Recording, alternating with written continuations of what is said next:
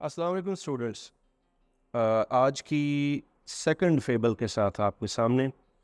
पहली फेबल में हमने the lion and the bull की स्टडी की। उसी के सीक्वल में ये आपकी सेकंड फेबल है। ये उसी का सीक्वल इस तरह से कि इसमें हमें, हमने इन्वेस्टिगेट करना है दिमना का जो कंडक्ट है। इसलिए इसका नाम रखा गया investigation of the conduct together with the defence of Dimna. The jackal ये मैं थोड़ा सा रिवाइज करता चलूँ कि ये जो कहानी है, ये एक हिंदी ओरिजिन संस्कृत ओरिजिन की है, जिसका ट्रांसलेशन अरेबिक में किया गया और अरेबिक से फिर आगे बहुत सारी और लैंग्वेजेस में इसके ट्रांसलेशन हुए। और ये कहानी है एक दिमना नामी, एक जैकॉल की, जो कि लाइन जो कि किंग होता है, उसके पास रहता है, एक उसके कोर्ट में रहता है। और ये वहाँ पर उसके पास वक्त गुजारता है और ये बहुत एम्बिशस होता है अपने मिजाज में और ये उसके दरबार में एक हाई पोजीशन चाहता है पावर गेन करना चाहता है। लेकिन वो ये देखता है कि वहाँ पर एक बुल है जिसका नाम शानजबे है और वो ऑलरेडी एक अच्छी पोजीशन एंजॉय कर रहा होता है। तो ये उसके ख़िलाफ़ साजिशें करना शुरू कर देता है। Is getting jealous of Shanzabeh or uh, ambitious, बल्कि rather he is over ambitious in his approach and he wants to get and grab as much power as he can. तो उसके लिए वो ये करता है कि वो उसी आउट ऑफ़ जेलसी और hatred and lust for power तो वो एक साजिश बनाता है जिसमें वो ही starts poisoning the ears of the lion the king उसके खिलाफ उसको उकसाता रहता है। पहले तो uh, जो लाइन है वो रेजिस्ट करता है। लेकिन फाइनली बहरहाल वो किसी न किसी तरह से कामयाब हो जाता है।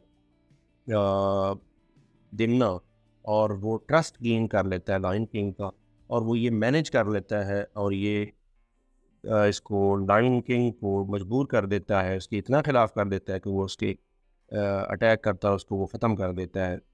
इस तरह से शानजा बे जो है वो मारा जाता है।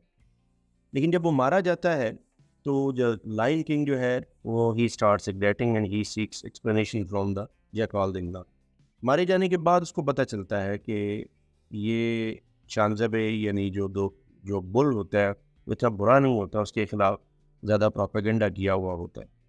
तो दिमना अपने डिफेंस में कुछ आर्गूमेंट्स देता है, और ऐसे कौन से टीम्स हैं, और ऐसे कौन सा डिफेंस है, जो कि दिमना अपने ऐसे कौन से आर्ग्यूमेंट से जो अपने डिफेंस में देता है? ये हम आगे चलेंगे।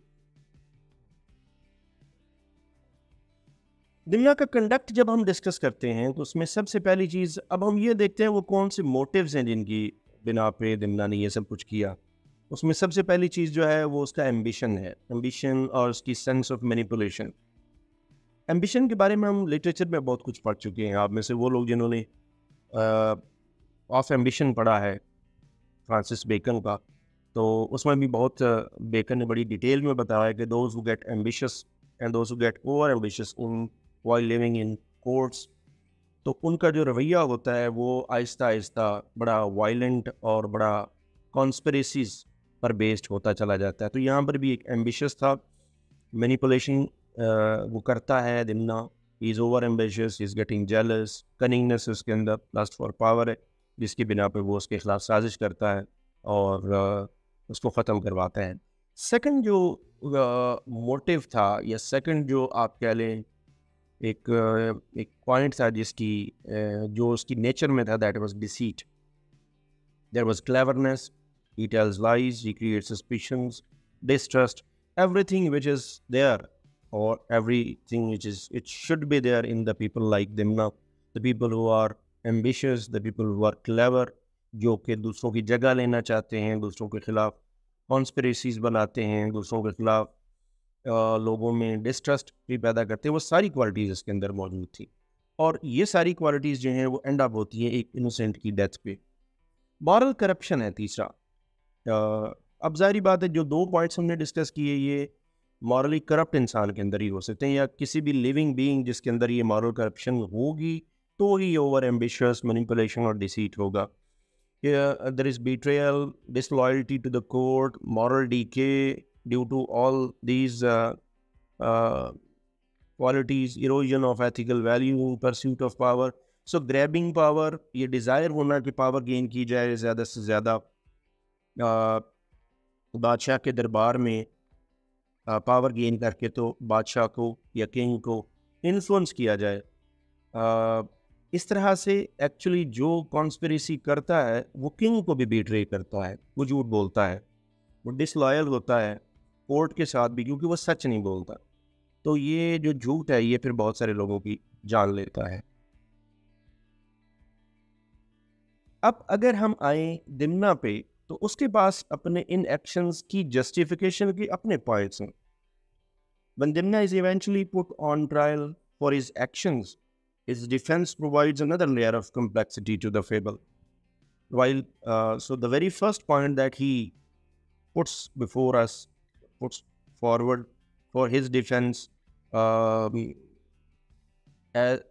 against uh, the accountability called for uh, the king वो सबसे पहला जो पॉइंट है उसके अपनी जो एक्शंस की जस्टिफिकेशन देता वो बड़ा रैशनलाइज करने की कोशिश करता अपने एक्शन को और वो ये डिक्लेयर करता है हमेशा की तरह, हर उस पॉलिटिशियन की तरह, हर उस साजिशी आदमी की तरह कि जी, ये मैं जो कुछ भी कर रहा था, ये स्टेट के बेहतरीन और वसी तर मफाद के लिए कर रहा था।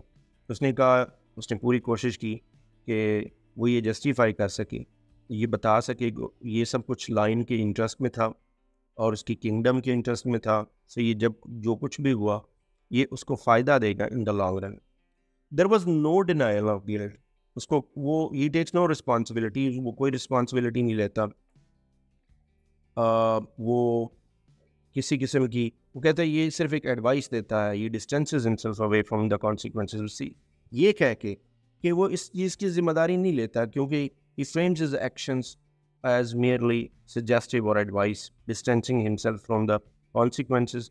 इससे पता ये चलता है कि उसके अंदर एक आप ये कह लें कि बेहिसी है और वो इसको जस्टिफाई करता है और इसको वो जायज़ समझता है। वो जब उसको मुर्द इल्ज़ाम ठहराया जाता है तो वो फिर जब उसको ये पता चल जाता है कि वो अब तो सज़ा मिलेगी, द लाइन किंग जब उसको ये बात बावर करवाता है रियलाइज़ करवाता है कि उसको अब सज़ा मिलेगी तो वो फिर अपने कुछ अपने पास लॉयल्टी के वास्ते देता है, वा, ताल्लुक़ के वास्ते देता है रिलेशनशिप के उसने बहुत लंबी लॉन्ग सर्विस की होती है खदमत की हुई है। ये सब कुछ वो एक स्ट्रेटिजिक मूव के तौर पे करता है जो सिंपथीज़ गेन करने के लिए कर रहा है ताकि किंग की सिंपथीज़ ले सके और अपने आप को वो आ, एक इनोसेंट डिक्लेयर करवा सकें। ये अपने डिफेंस में दिमना ये सब कुछ कर रहा है। जी तो आ, इसके डिफेंस के बाद हम इसको कंक्लूड इस तरह से करेंगे। ये मैंने चंद पॉइंट्स आप लोगों के लिए बनाए हैं कि इन केस आपने अगर इसको क्वेश्चन की फॉर्म में लिखना है तो आप इसको कंक्लूड इस तरह से कर सकते हैं कि अगर हम इसका इन दोनों फेबल्स को जो इससे पहले वाली थी और इसको क्योंकि ये सीक्वल था तो इसको कंक्लूड इस तरह से कर सकते हैं कि it's about the dangers of unchecked ambition जैसे मैंने बेकन की मिसाल दी।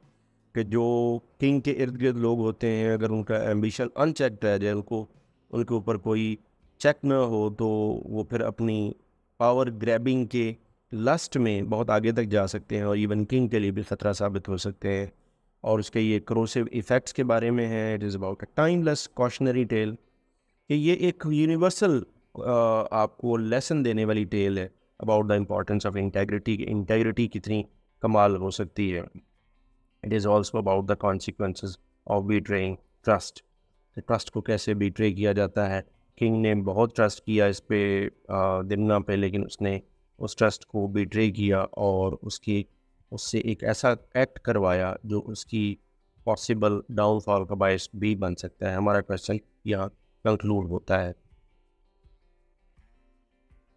थैंक्स फॉर वॉचिंग और एक चीज़ मैं इम्पोर्टेंट यह एंड पे ऐड कर दूँ कि आप कोई भी कमेंट ज़रूर करें। आपने क्वेश्चन सुना आ, पूरी प्रेजेंटेशन सुनी वीडियो देखी कोई भी कमेंट ज़रूर करें। और सबसे इंपॉर्टेंट चीज़ अगर आपने कोई क्वेश्चन पूछना है तो वो क्वेश्चन आप कमेंट सेक्शन में पूछ सकते पूछ सकते हैं।